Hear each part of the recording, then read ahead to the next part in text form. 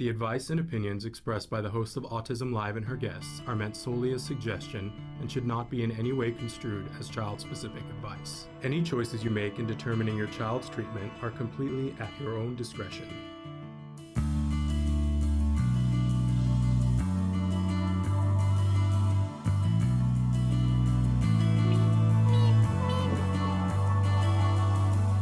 Good morning and welcome to the Autism Network and this very special edition of Autism Live. We're preempting Let's Talk Autism with Shannon and Nancy to bring you a very special event. You know that from time to time we welcome Dr. Temple Grandin to be with us live, and she is with us right now. Good morning, Dr. Grandin, and welcome. Great to be here. We love having you here. I don't know if you saw that opener, Dr. Grandin. That is our new opener for Autism Live that was designed top to bottom, including the music and all the graphics and the animation by individuals that were on the autism spectrum. We're very proud to present. And that was done in conjunction Okay. with Spectrum Laboratory. So we're we're really happy that we're now employing folks that are on the spectrum to do uh, artwork and stuff for it. I know I, I, I thought you would find that interesting. No, that's just great. That's wonderful. And we're excited to be here with you this morning. Uh, we are live right now on a lot of different platforms. We're we're live on Facebook, YouTube, Twitter, and about a dozen other places. Traven will try to show you some of those as the program progresses. We do encourage interaction. I will tell you that we asked for all the questions that we were going to ask Dr. Grandin to be sent in early. You guys heard that call, and we have tons of questions. I don't think we're going to get any anywhere near half of them you can feel free to um, to write in on those platforms live and and say hi to Dr. Grandin. But we're going to take the questions that were sent in in advance. Um, so thank you all for for writing in your questions, Dr. Grandin. I I'm I'm just going to leap in unless you have any statements that you want to make here at the start of the show. Well, it's just really great to be here. And we're going to talk about navigating autism. Yeah, and. Deborah Moore came up with a really good word. It's called a label locking, where you get so locked into the label you can't see your child in any other way. And I think uh, it's really important to look at the whole child. And that's one of the major themes of the book is there's a whole child there. It's not just the label. Don't get locked into it. Can we see the the the cover of the new book? I think you've got it Right there. Navigating autism. and So- uh, a lot of emphasis on um, uh, getting a child out in the real world. That's extremely important um, because there's a tendency for a lot of parents to overprotect their kids. I'm seeing too many kids that aren't learning shopping. I just ran into one just the other day on the phone. Uh, just the most basic things that I learned as a very young child also a lot of emphasis on developing strengths and i've always been a big proponent of that my ability in art was always um, encouraged all the time Wonderful. And we've got some questions that are, are right in a line uh, with what you're talking about. But navigating autism, I assume we can get it at every major bookseller. yes you can get it to every major bookseller uh, or Wonderful. online they would all have it Okay, Parker, I want to start off with Parker's question. He says, What do you think is the recommendation for kids with ASD, ADHD to improve focus and attention or specific activities that will help if meds are not an option? well exercise. Let's just start with some of the simple things. Um, i make sure i do 100 sit-ups every day. I despise every one of them. But that burst of hard exercise definitely helps. Mother used to say go outside and run the energy out of you that's something that can be really really helpful that can be helpful also getting kids interested in things also can help on attention I notice a lot of kids they have no problem attending the video games, and I get very concerned about the um, video game addictions because these kids are not going on and becoming great video designers. If that was what was happening, I wouldn't be uh, complaining about it. No, they're ending up in the basement just playing video games. Um, there's been some successes with uh, weaning them off the video games. This is when they were adults to car mechanics because it's my kind of thinker, the visual thinker, that also likes mechanical things. Absolutely. And I, I messed up. That question was actually from Angela. Parker's question was What are the best ways to te- teach job skills for people on the spectrum? I imagine there's a little bit of overlap there with those questions. Well, yes. I mean, let's, okay, we've got kids in the pipeline right now. I'll give recommendations for that. but I want to make it emphasize it's never too late to start with an adult. Never too late to start because there's been three adult video game addicts weaned off with car mechanics. And one of them right now is fixing trains for the railroad, and they love them. And there's another kid uh, that I just saw his picture. I was at an industry meeting, and now he's got bushy hair, baseball cap, ADHD, somewhat autistic. He is now repairing tools for a tool company. Very, very successful. And he pays plenty of attention to that because it's something that he is interested in. You see, my mind doesn't think in broad generalities. My mind thinks in specific examples. I'm learning more and more about how the verbal thinker in education thinks very differently than I do. They have a broad concept like job skills, where I tend to use specific examples, either my own or somewhere else, somebody else, to illustrate a point because I'm a bottom up thinker. Think putting individual subjects in slots on a spreadsheet. That is how I think. So let's say kids in the pipeline now, let's um, start doing chores around age five, clearing the table, just simple things like that. Then when they get around 11, that's where we got to find a time for the paper route substitute because we don't have paper routes anymore. And there are a lot of granddads that discover they're autistic when the kids get diagnosed and they had a paper route. So around 11, how about church volunteer jobs? How about farmers market volunteer jobs? Tasks done on schedule where somebody outside the family is the boss. That is really important. Instant, they're legal. I want real jobs. Instant. I don't want to think about it. We're going to do real jobs. And let's talk about some of the things that will not work. Let me tell you where I won't put them. This is on the bad spreadsheet box. Busy McDonald's takeout window. Too much multitasking. We don't put them there. Super crazy wrapping station at Christmas time in a store. Don't put them there. Those two are failures. Okay, let's look at some that worked. Okay, bagging groceries, um, office supply store selling printers and other equipment was successful. Ice cream shop's been successful because you work with each uh, customer at a time. These are actual real cases where parents had some very great successes.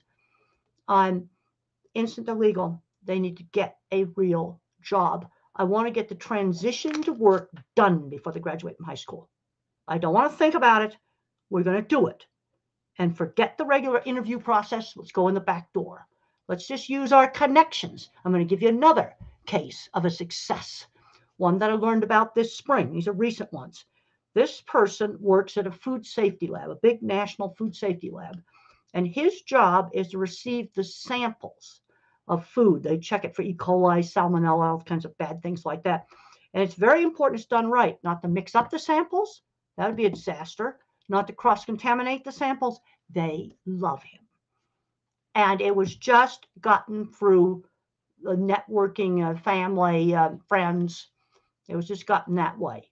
And these are examples of real jobs that have been successful. And and uh, that's what we need to be doing. Okay, let's say we have somebody that's hasn't had a job. Let's say mid 20s, video game addict.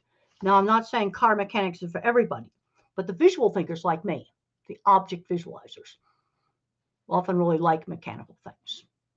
And and uh, there've been three successes with um, car mechanics. So mm-hmm. I'm going to tend to push that. And I think there's a reason for it because my kind of mind is most likely to get addicted to video games. And uh, the visual thinkers like me, we like art and graphics. Okay, you showed your new um, uh, logo there in the beginning, and also like mechanics. And when I was out in the meat plants, we were installing equipment. I worked with skilled tradespeople and machinery designers that were either autistic, dyslexic, or ADHD. Some of them owned shops and had multiple patents. You know, these this is all real stuff. And and so we had to find substitute for the video games. Now, another problem I see in jobs is uh, autism is such a broad field. I mean, uh, by by the way, you know, Elon Musk is on the autism spectrum. This is Ashley Vance's book. And you see those post-it notes? I put those in there when that book was first published because I thought he was autistic. Now, now I can say it. Those are like five or six year old post-it notes. they've been there for a while. I love that. But it, it's, and then you've got someone who can't, uh, you know, that's nonverbal. Now, this is where we get a problem with a job like bagging groceries. A lot of people don't differentiate to where that's a training job, one summer training job, and where it is a suitable career. There's some individuals where it would be a suitable career. For someone like me, it would not be a suitable career. You see, Absolutely. I'm seeing that differentiation being made.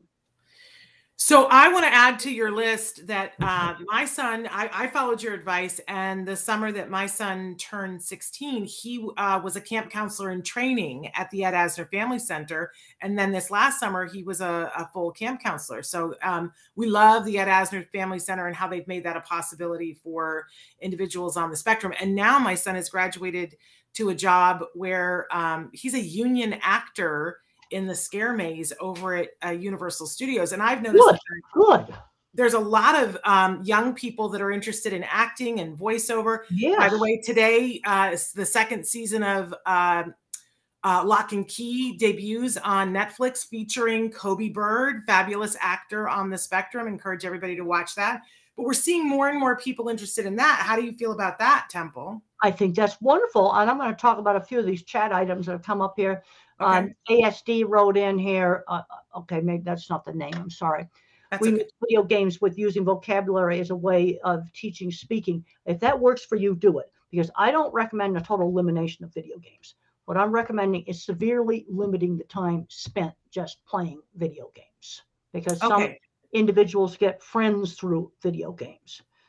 It, but it's got to be limited because I'll tell you what I don't want to see eight hours a day on a video game and nothing else. Um, and then another uh, person wrote in here about the importance of real world experience. That's a whole chapter in navigating autism. We've got to prepare kids for the real world. I cannot emphasize that enough. Yes. Rianne wants to know I've heard you say that you spun a metal ring on your bed and that you like to watch sand go through your fingers. What does that do for you? I want to understand why my son splashes water. Well, I would study the grains of sand like a scientist studying something under a microscope, you know, looking at how the little individual particles fell.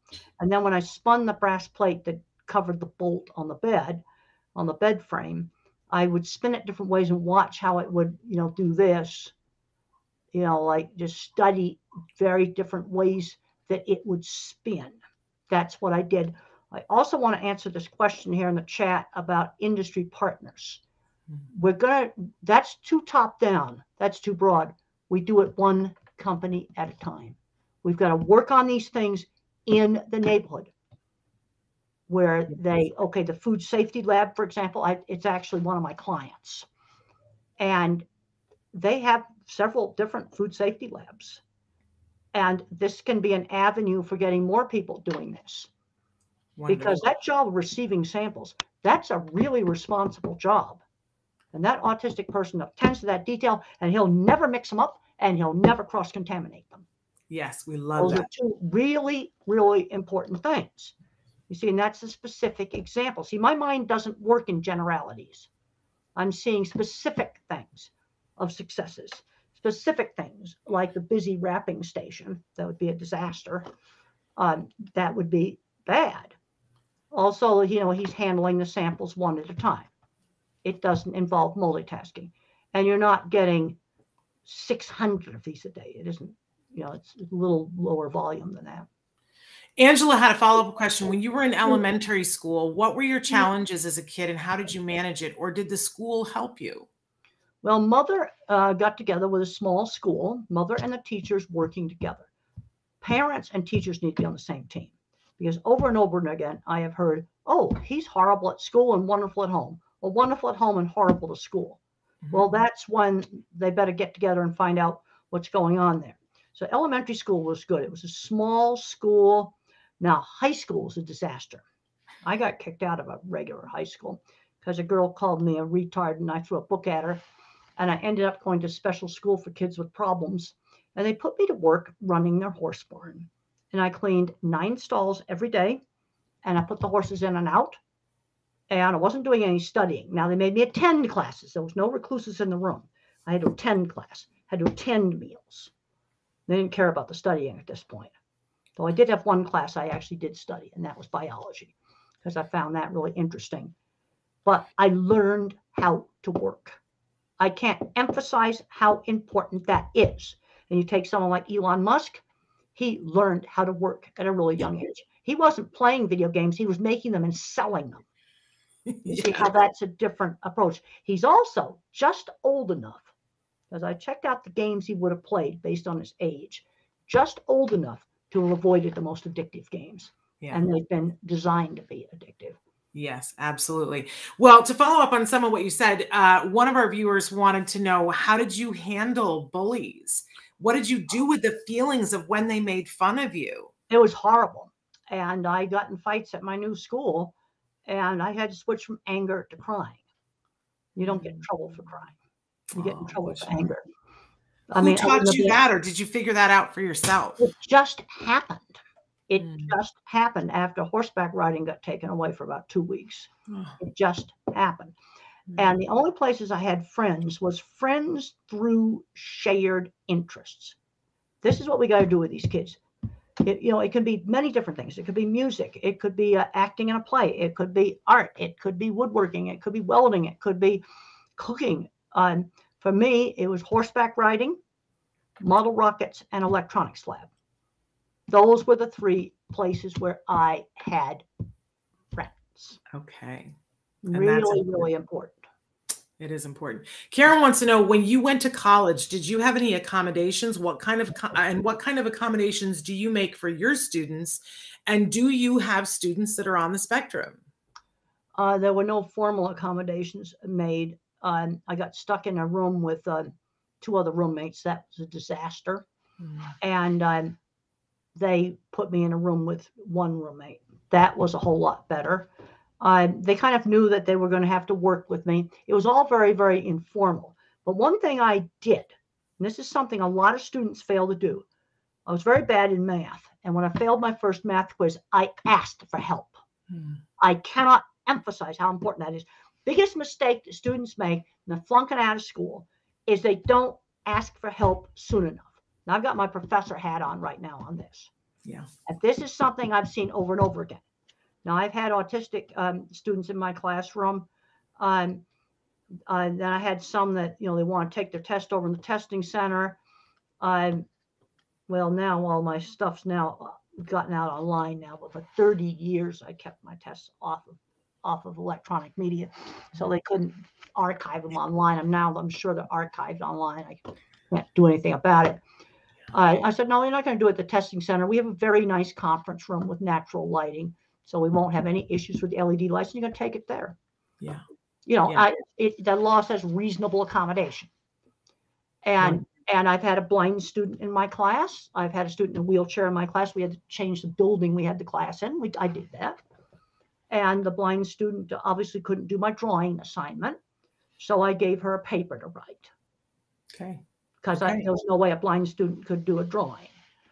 Yeah. And and just um, you know, I want to do everything I can to help students. I had a student with autism call me just before I got on the Zoom call. I'm going to talk to her this afternoon because I want to help her to be successful. Yeah. But uh, Uh, you know, I had a I had a I had a really neat student that he could make any animal sound there was Really, and accurately? accurately. Yes, I couldn't believe it. I love that. Uh, there's a place for him in the voiceover world. Tilda wants to know which of your books should I read first? I'm 22 and I am autistic. I probably would not read Navigating Autism. Navigating Autism is really, really good for a parent who gets diagnosed. And then, and then I've got the way I see it. This would be the how-to book. Okay, you read, you read Navigating Autism so you don't completely freak out and you know how to deal with it. Then you read this one for the instructions. For an older person, I would actually recommend different, not less because this is 18 people in their own words. I was the editor for this book, in their own words, uh, telling about their life. I actually learned a lot from that. yeah. And where the diagnosis helped in that situation was relationships. For a lot of older people, diagnosis was a huge relief. I'm seeing in kids, especially fully verbal ones, the diagnosis holding them back actually. Mhm. They're Yeah. getting label locked. Single most important thing that Deborah said in this, she invented this term label locking. Really important. Also, this book's got some great chapters on medical conditions associated with autism, gastrointestinal, skin problems, other conditions, uh, psychiatric conditions, anxiety, OCD. Uh, they have this, doctors have this awful word, comorbid. I hate that word. I'd rather call them coexisting. That's Yes. the way an engineer might say it. I prefer that. Yes. I don't And- like the word morbid either. Comorbid, I mean, it sounds like it's half dead or something. I don't know. Exactly. Um, because morbidity is sickness, mortality is death, I guess, in medicine. They're Yeah. Not very nice terms. But it's important to recognize that, you know, that, you know, some of these things are associated because I had a lot of problems with anxiety. And, uh, and in my book, Thinking in Pictures, I talk about how medication helped me. And that can get to be a controversial subject, but I don't think I'd be here without medication. I got a whole chapter in Thinking in Pictures about my experiences with anxiety. It was burning me up all through 20s, getting worse and worse and worse. I did the Dip Vat project showing the movie without the medication. It went on at my early 30s. I don't think I'd be here without the medication. I don't know if I have any innards left. Wow. I, I got colitis so bad that I was counting calories in yogurt to Hmm. make sure I ate enough so I wouldn't lose too much weight. Wow. And I can remember doing that. Well, I, want to know what you did to change that. And Samuel has written in and said, How do you deal with change? It's been very hard for me in the pandemic. And we see that for a lot of folks. They're really struggling with anxiety as a result of the pandemic. Well, So what did you knowledge, do? knowledge is power. When I was a child, I had a little notebook and it said all the notebooks our school gave out had knowledge is power on it. Well, you know what I did? Every way to treat COVID, I read about. Every Mhm. scientific paper on COVID, I read. And, you know, there's a lot of controversy about old treatments, so I'm not going to discuss them because they're too politically charged. Yeah. I stockpiled some of the stuff. I went deep, deep into the science. And I was very careful not to get COVID. The Delta variant hadn't come out. I, I did, I went to Lamb Feed Yard. We have a meat, a meat lab on campus. I used to go over there very, very carefully, staying away from everybody. Uh, go look at the cattle, just have something to do. And I think I could have treated COVID if I got it. Okay. And I can't go into any more than that Sure. because of the controversy surrounding it. But I am a very good surfer when it comes to scientific literature, and I know how to separate the BS from the real stuff. So the knowledge in the case of Knowledge, COVID- knowledge something. Now, I've just finished, was reading an article. I'm working on a, a paper on visual thinking and how people do management. Let's read this paper here about two different managers on the Fukushima nuclear power plant disaster. One manager, there were two stations, the one totally trashed, and another station they managed to prevent totally badness from happening, even though it was wrecked. Um, one manager gave his employees all the knowledge, every bit of knowledge, knowledge on the earthquake, knowledge on what was wrecked in the plant. The other manager sitting in an office uh, several miles away on a TV monitor. He was the suit. Oh, look at this cool thing I got. This came from one of our local meat plants. Got a cow in a suit right there. I just had to get this squeezy toy, and I'm going to squeeze the suit. And and so one of the managers was a total suit, thinking he could do it from a windowless control room. The other guy's out there telling his people everything. Yeah, the basement's flooded. There's fish swimming in the basement. You know, the emergency cooling pump is underwater, and there's fish swimming over it right now. Um, we're really in trouble.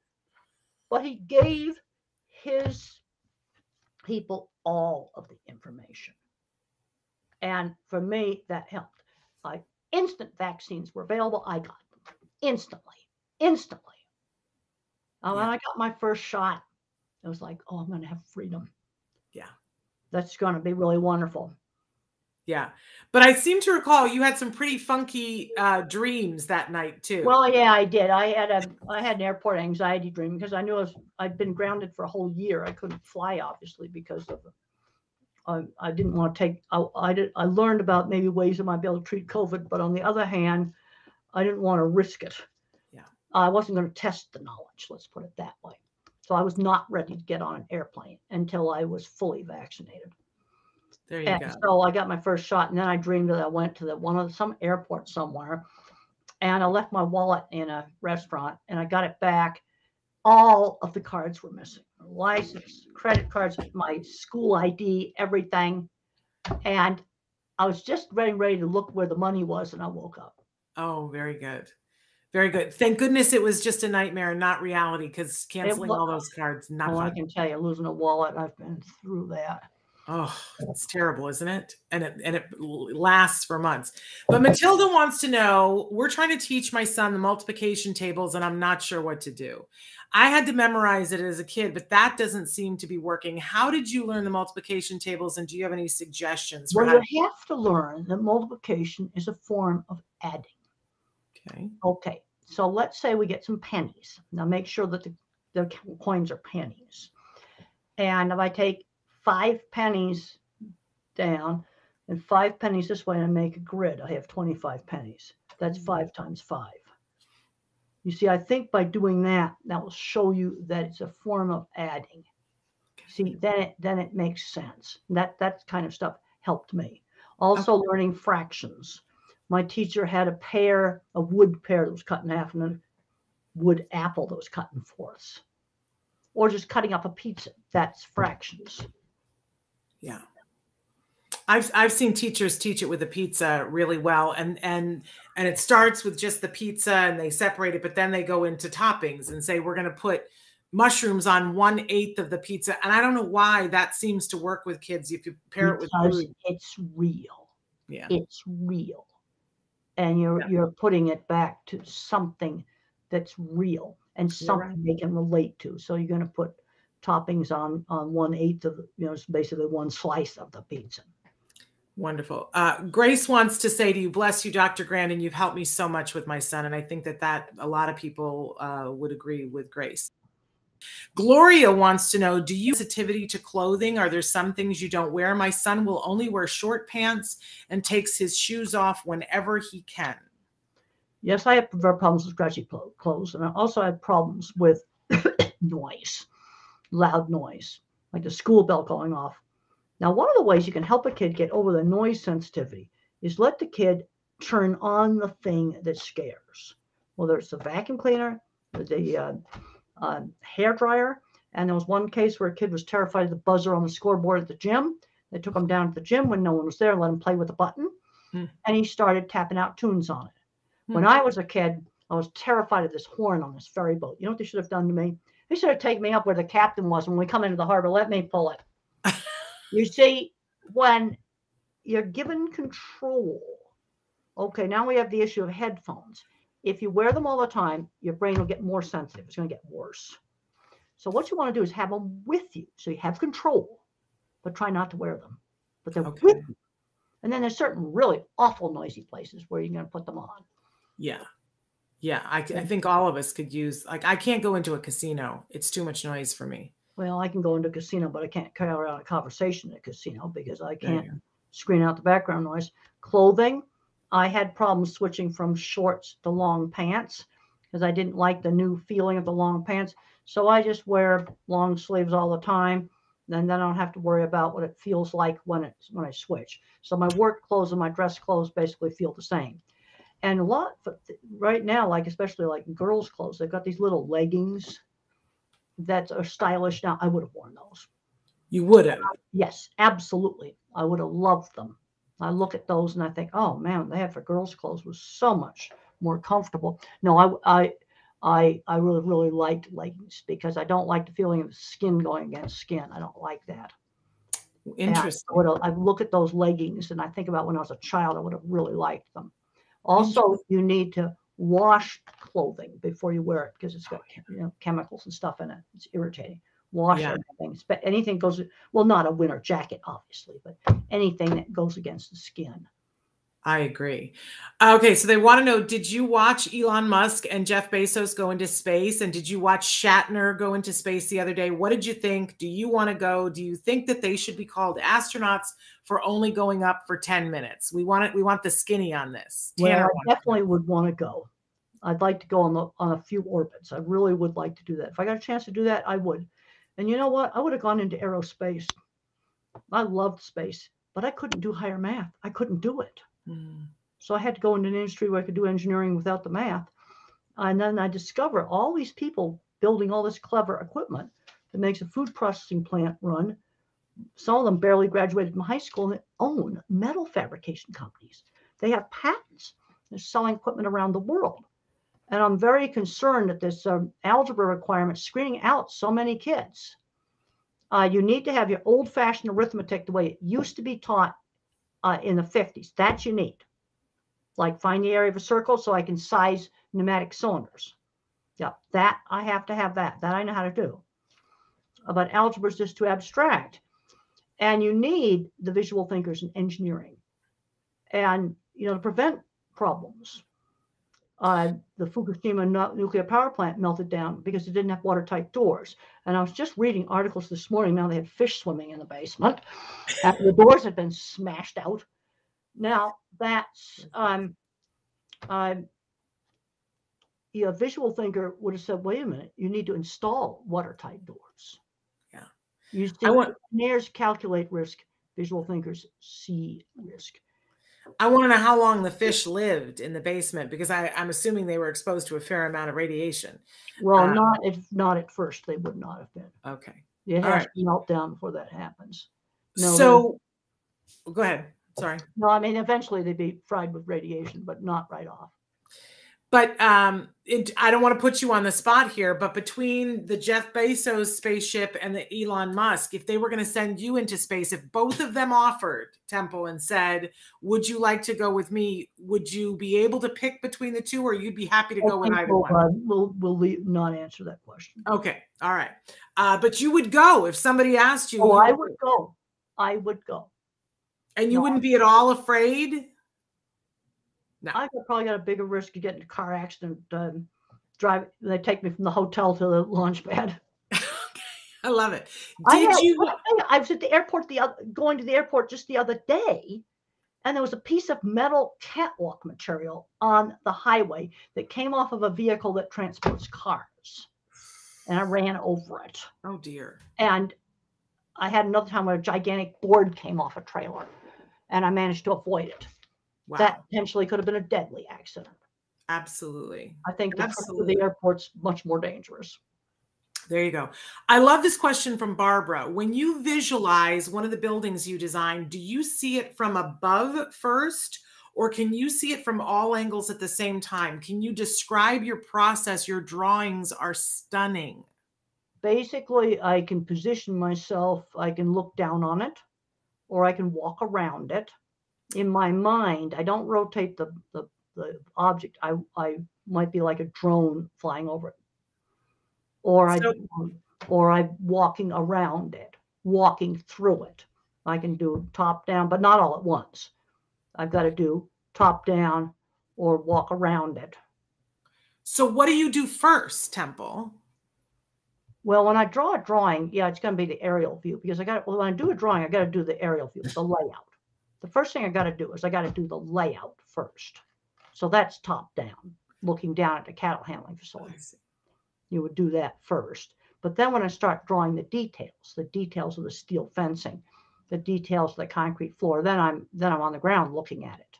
If I'm doing a fence de- detail, showing how the rods are attached to a fence, for example, um, I'm be standing beside it, and I'm even seeing the little clips they use to fasten the um, the rods to the posts.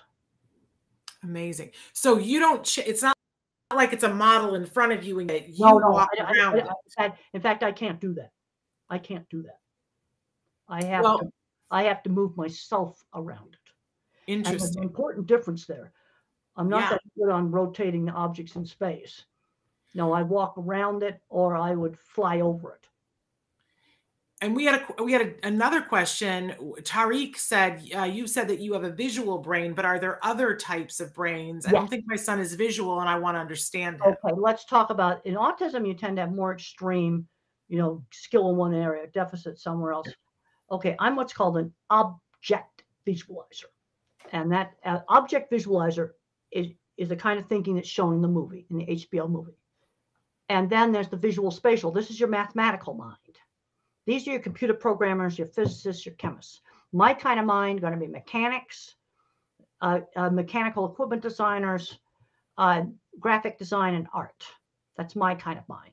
See, mechanics and art actually go together, and music and math go together. And then the third type is the word thinker.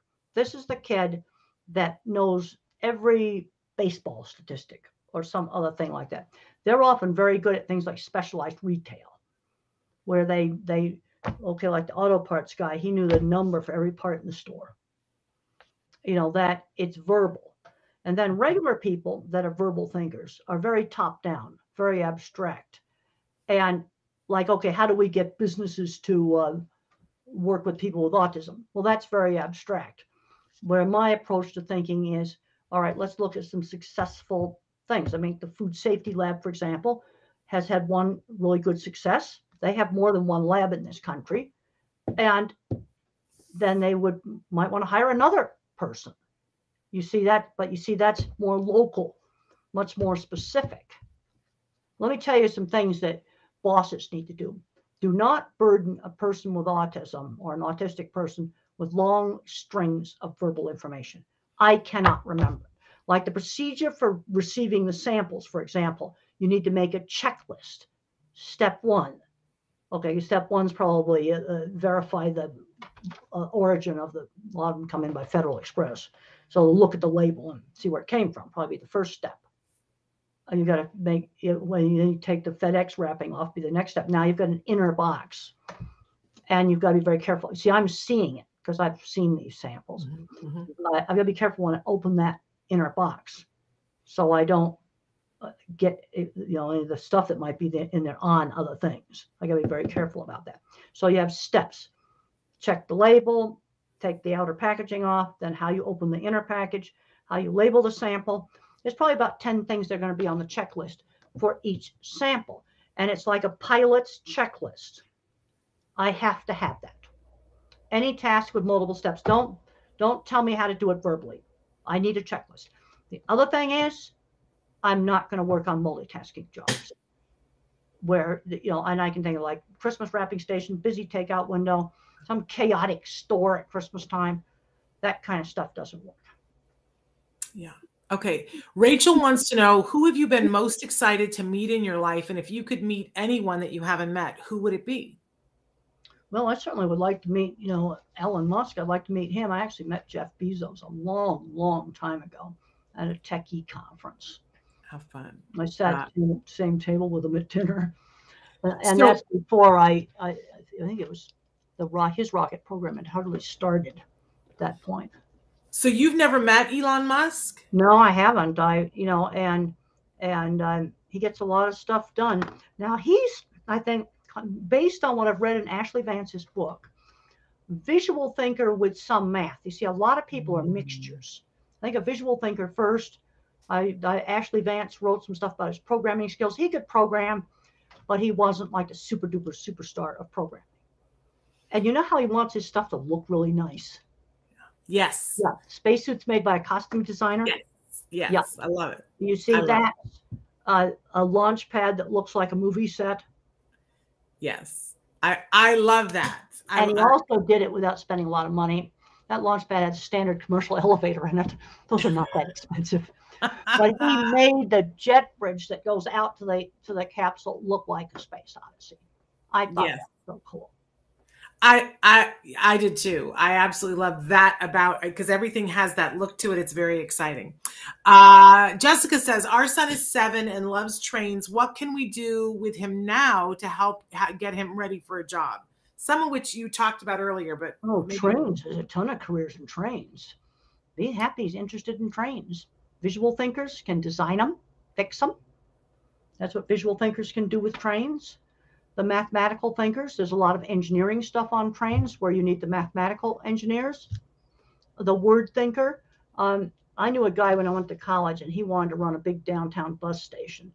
And I'm pretty sure he was Spectrum and the word thinker. Well, working on running the, the station and making sure the stations run right. You know, that's um, so there's a job for everybody. So let's take that train interest and let's expand it. Use it to teach reading. Let's read some really interesting books about the railroads. Um, use it to teach math. got a train into that. Yeah. Use it to, to teach all kinds of things. No, I'd be happy if my kids interested in trains because there's so many good careers. The other thing that I'm realizing is I spent 25 years involved with heavy commercial construction. And it's totally affected how I think because I would sell a job, design it, supervise its construction, start it up. It's all about outcomes, finished projects that work, outcomes. And I put a lot of emphasis on careers because we do a really good job. We can get a, uh, a person launched into a really good career that they are going to like. Uh, one of the people in Different Not Less in this book, um, she got a job with a computer company and she says, I'm with my people. You know, yeah.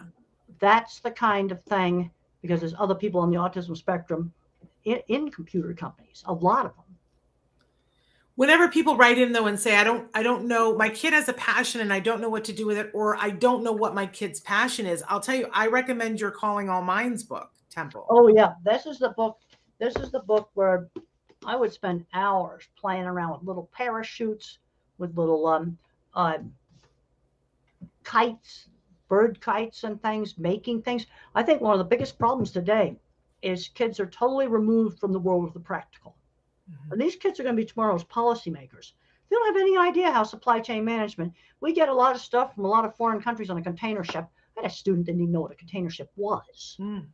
And I'm mm. going, and we're going to be making policy about this stuff in the future? Or they talk about green energy. Well, how do you actually do it? You see, see, none of that stuff is abstract to me. I see the windmills, I see solar panels. Yeah, and right now there's a shortage of the material that solar panels are made out of. You see that, and and when I see a solar panel, when I say that, and I see a factory where they're being made, and I read a lot of business magazines because I find this stuff really interesting, so I read about that stuff. Love it. Dee Dee wants to know Is there a children's book about autism you recommend for us to read to our kids on the spectrum and their siblings? How old are kids? Well, and they don't say, but let's, well, let's start with young kids. Really young kids. Uh, there's a book that Future Horizons puts out. That's a real a book for real little children. Like Temple did it, you can too. And there's Sy Montgomery's the, the Girl Who Loved Cows. That'd be for older older elementary school. Some of those kids could read it themselves.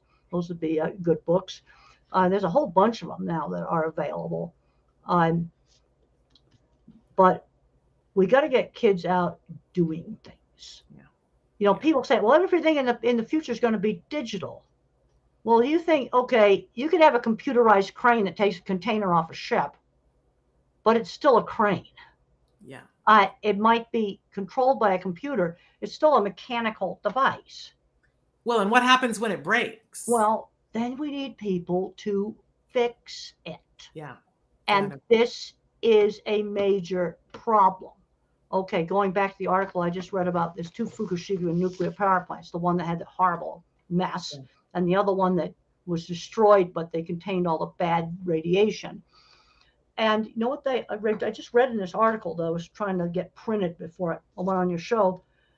Um, it would have been very helpful if some of the workers at the plant knew how to operate construction equipment, cranes, and the big diggers. Yeah. You know what they went and did? They all went out and learned how to operate those and got licenses. There you go. Well, there that, go. Uh, that's it, you see, because in that emergency, they couldn't get a generator off a truck because he didn't know how to operate any of the stuff. Yeah.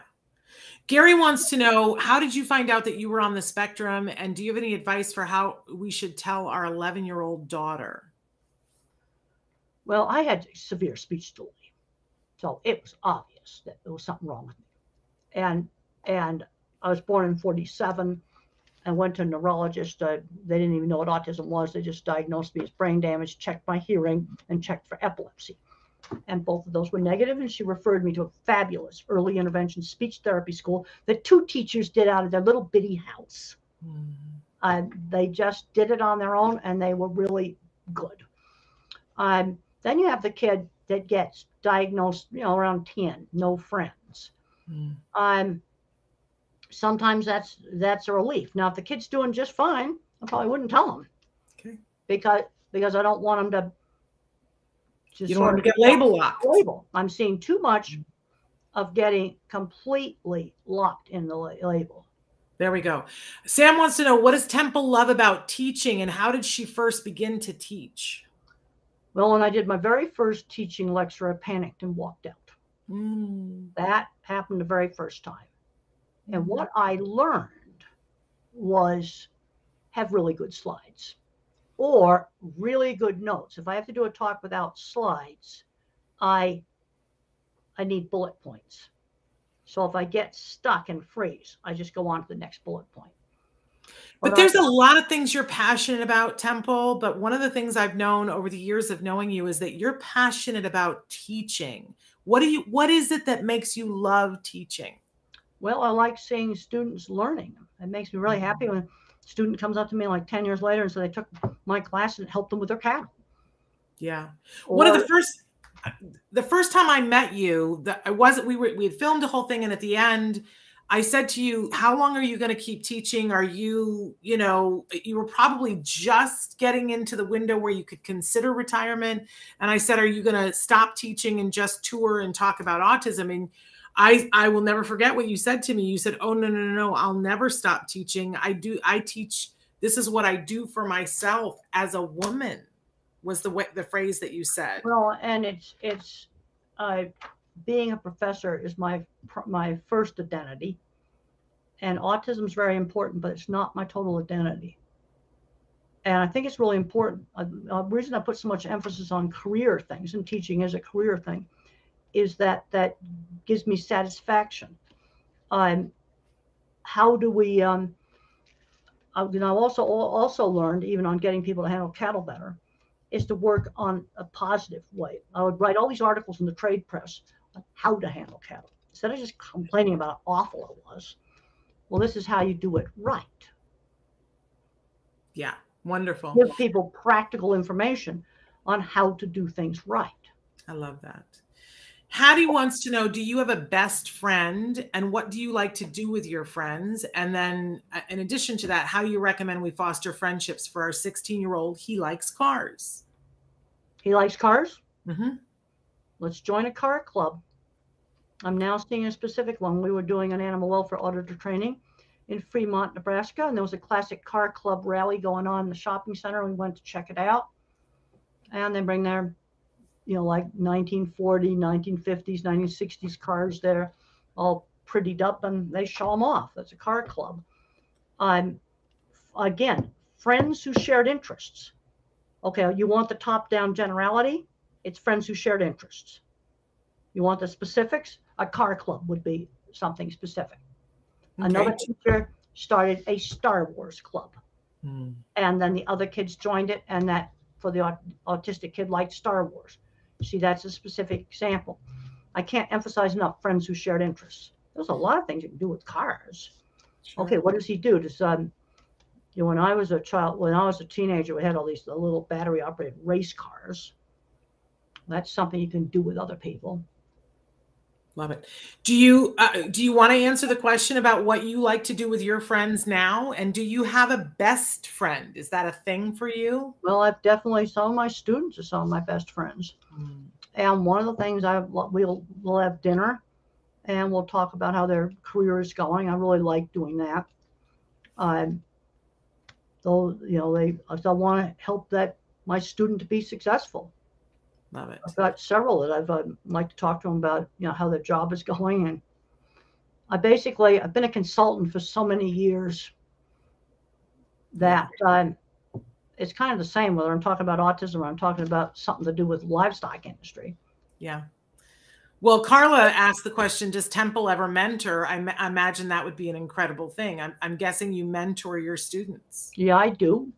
And one of the things we do is we'll have a, I try to have a dinner with them like once a week, and talk to them, and and uh, I want to get my students graduated. I also want to work really hard on getting them launched into decent jobs. That's What a, really important. what a lovely thing for those students. I love this question. Zeri says, This might be a strange question, but have you ever had someone doubt that you were on the spectrum? Our son has made so much progress that people often tell us that he must have been misdiagnosed, but they have no idea how hard he has worked. It's frustrating. Has that ever happened to you, Temple, where somebody's doubted that you Well, the thing that stops it with me is I had severe speech delay, and nobody can deny that. I didn't talk until age four, so I obviously had something wrong with me. But then you have the kids where there's no speech delay. Mm-hmm. You see, autism is a true continuum. When does slightly geeky become autism? It's a true continuous trait because the same genes that give people a big brain also um, are involved with, with autism. It's an embedded trait. You're not going to get rid of it because the same genetic code that grows this gigantic computer we've got sitting up here uh, involved with autism and schizophrenia. Autism, you may get an overgrowth of, of uh, brain circuits for something like art or mathematics. Schizophrenia, you get kind of a skimpy network. And then, unfortunately, in late adolescence, it falls apart, mm. which is yeah. bad. Yes. They're opposite Pete, traits, actually. There we go. Pete wrote in and said, I'm, I'm neurodivergent and I hate when parents find out. They stare at me and watch everything I do and they ask stupid questions like, Do I remember my childhood? I find it annoying. Do you ever get annoyed when people ask you stupid questions and how do you deal with it? Well, I've had plenty of customers to do the same thing and you just answer them. That's what you do. The other thing I learned on starting off my business was showing my work. I learned to sell my work instead of myself. We need to short circuit and get rid of some of the regular interview and be able to go in and show work. You know, and I would just um, hold up here's a drawing and a project I designed that's in in thinking in pictures. And when people saw my drawings, they were amazed. I would sell the work. I think on a lot of job placements, we need to work with employers to give uh, someone a free tr- time to like come in and improve themselves. Also, another thing on certain jobs, let's take receiving the samples at the food safety lab. Uh, the autistic person may have taken longer to train, but when he's trained, he's going to be better. Yeah. He will not mix them up and he will not cross contaminate them. And that's super go. important if you're running a food safety lab. Yeah. Addie's written in and said, I'm concerned about high school students who have lost so much in, in COVID. As a college professor, I'm interested to know what you think we should be doing to get these kids caught up and ready for college or jobs. Well, I've got to get a little more specific here. One thing I've noticed we had three semesters of online at my university. We did the first live classes this fall. I can't get these students to talk in class. Mm. That mm. has gotten, and it was my class, and uh, we just did an ag careers class yesterday. Can't get these kids to talk, and I think that's you know made things that's not good. Yeah, because learning how to just do you know like basic communication like that, I know, you know, I learned that because when I was seven, mother got me and my sister dressed up in good clothes, and we had to greet the guests at parties and talk to them. That was done. Every kid in the neighborhood they did that doesn't cost any money. And I look back on it and it taught really great social skills, taught how to talk to grown-ups. My brother hated those parties and he admitted that they helped him land jobs, high level bank jobs. Because yeah. he wanted to talk to grown-ups, to older men. It's interesting that you should say that though, Temple, because I, I, know for me and a lot of other adults that don't identify ourselves as being neurodivergent, there's a phrase that we've all started saying which is i it's like i forgot how to do people in person. I forgot how to do small talk. I forgot how to negotiate when one friend wants to go here for dinner and another friend wants to go here. It's it's like those skills in me ha- like went by the wayside uh, and i got to resharpen them. But as you say I, you know i hadn't really thought about it before that students have gotten used to think that education is this passive thing where their a screen is on and they're doing something else and sort of listening. What besides doing a thing at home? Well, you just froze. Hello? Or we get Yeah, you froze. Don't move so much. Gotta okay. Movement down. You just froze. Thank you for that comment. Okay. Uh, but so what can we do for the for the teachers to get them back to interaction? Well, I'm finding I'm having to drag it out of them. Like in this class yesterday, I had about three students that really engaged. And some of the others, I just started calling on them. That's what you're going to have to do because this is basic stuff. There's a scene in the movie where I went up and I got the editor's card, uh, so I could write for the magazine. That's a Mhm. very important scene. I saw that door, and then I delivered a really good article. You know what else I'm seeing on my regular students, not Mhm. neurodivergent, awful writing skills. Mm. And then Mm. when I, not talking about handwriting, just writing composition, you know, how, you know, just compose a decent business letter, compose a one-page proposal for something. Tell me how you raised your pigs, just basic stuff. And Mm. and uh, I'm finding out they've never written book reports. They've never had their work marked up. But I've talked to a lot of professors about this, and there's college students have awful writing skills. Yeah. And I can tell you that good writing skills were really important for me because I wrote about my cattle handling projects. And I, would- you- I- how many I- how many books do you have, Temple? well, I have used co-authors for a lot of books. Now, thinking in pictures and the way I see it, it's all my writing. That's all totally my writing. But for other books getting more complicated, I need that verbal person to uh, keep it organized. You see, that's an example of the different minds working together. I love it. where Uh, where um I uh, you know this is where okay Deborah Moore for example is very verbal and I'm learning more about how the verbal person is very different from me. The verbal mind overgeneralizes. I, this drives me nuts on disability stuff. You put in all the disabilities together. I'm seeing my blind roommate, somebody in a wheelchair, somebody that's fully verbal, somebody who's not, all put together. They all have very different needs. You see, when you think bottom up, that doesn't even make any sense. A wheelchair, a person in a wheelchair needs an accessible building. That's something that's very different. I, I, love looking at it from from from your point of view. It just makes so much sense. We're running out of time, so I want to get to this question. Nan says parents are highly impacted, are asking there for there to be a new designation for their kids because the term autism is too big of an umbrella, Oh, and they want to know what you. I think it's ridiculous how big of an umbrella it was. Yeah. See, originally you had to have speech delay, early childhood speech delay to be diagnosed as autistic. Then they added the Asperger's in the early 90s. So now you had that in there with uh, no obvious speech delay, socially awkward, no obvious speech delay.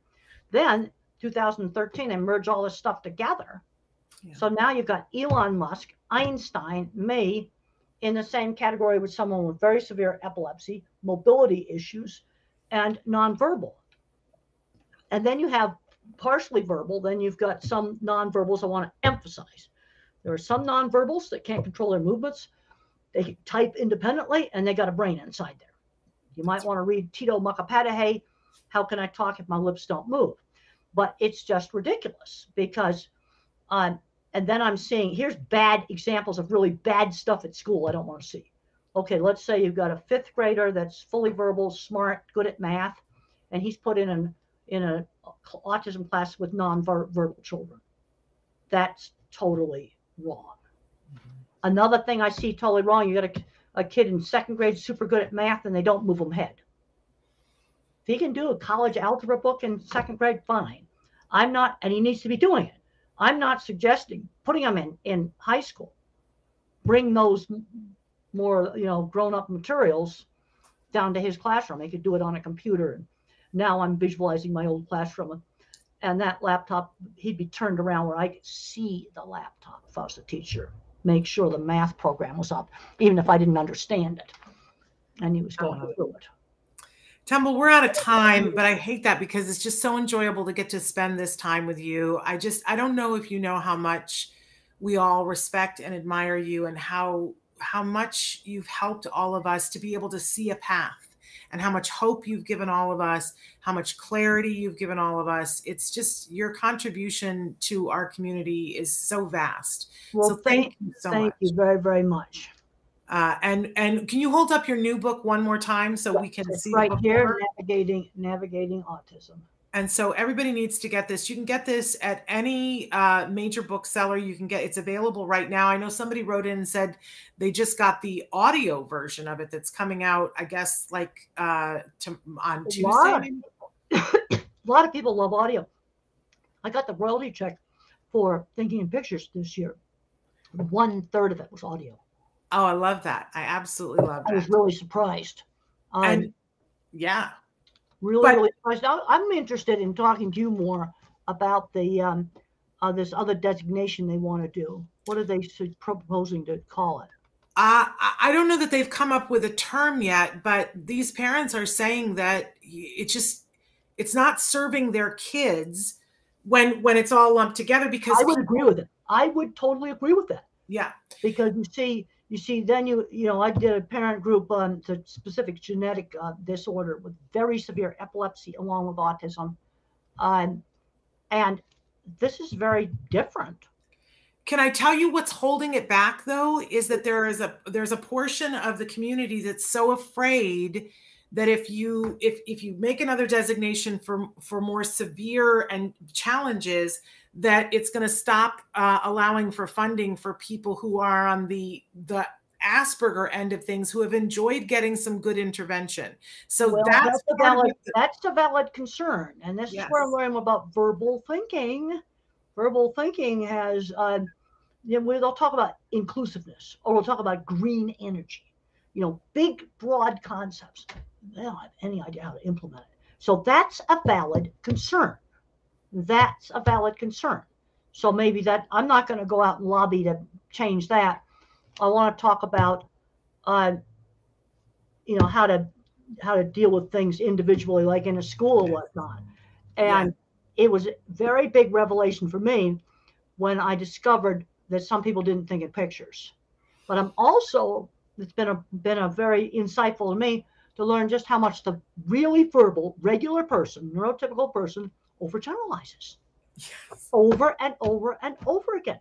I don't care if it's autism, dog behavior, or horse behavior. Yes, you're they right. Do it with all of them. You're absolutely right. And okay, disability. We got wheelchairs and blindness and deafness and autism and and ADHD all together. Yeah, doesn't make sense. Now maybe I can see why they do that for funding purposes. I can see why they do that. And that's a legitimate reason for doing it. And it's fine to do it for that reason. But then when we're, when we're working in the individual classroom or whatever, that's where we need to be realizing that these kids are really different. Yeah, They're this is the problem individuals. With the funding is that the who do you think does the funding? The verbal thinkers. Politicians are verbal thinkers. Yeah. They don't have any idea how to implement stuff. you're absolutely right. But that's the problem. And I'm beginning to realize that we need all the different team. I'm very concerned because of my inability to do math that I'm getting, you know, that my kind of mind is getting screened out of graduating high school. I don't think I could get through college today. That's But you need horrible. You need us to prevent a mess like Fukushima. Watertight door would have saved it. Yes. I just read this paper today about fish swimming in the basement. I'm going to be picturing that all day, Temple. Yeah, I, Right. I just smashed outdoors. The site's flooded.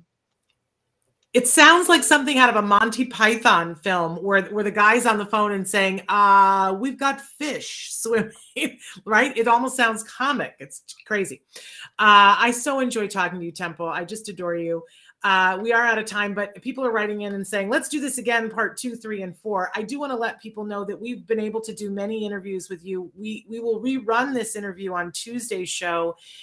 You can typically tune in on Tuesdays. Uh, most Tuesdays we, we call it Temple Grandin Tuesday, and and a lot of times we'll have when we can we have Temple or we play interviews that we've done with her before. They're just so luscious. So do check that out. But do get Temple's new book, Navigating Autism, and of course, you know, what is it? Eleven books now that you're at Temple? Eleven. Well, I've got, well, then I have then I have my textbooks too. Now Oh, you want to look so at many stuff that I did all the writing on my textbooks. I love it. chapters I did in livestock handling and transport. Here's my book on improving animal welfare, a practical approach. I was the You get editor so much done.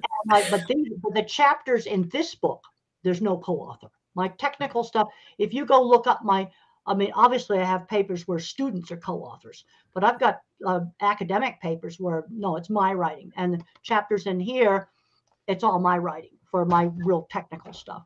You are prolific. Uh, absolutely prolific. So we we adore you, and we hope that uh, to have you back again really soon. Thank you for taking the time to be with us, Dr. Grandin. It was great to talk to you today. Thank you so much. All right, you take care. I will. I'm going to leave the meeting right now. Thank you All so much. And I'm going to say Bye-bye. Bye. I'm going to say to everybody that uh, we'll be back on Monday. I hope you enjoyed today. I know I did. We'll be back on Monday. Until then, give your kiddos a hug from me and one for you too. Bye bye for now.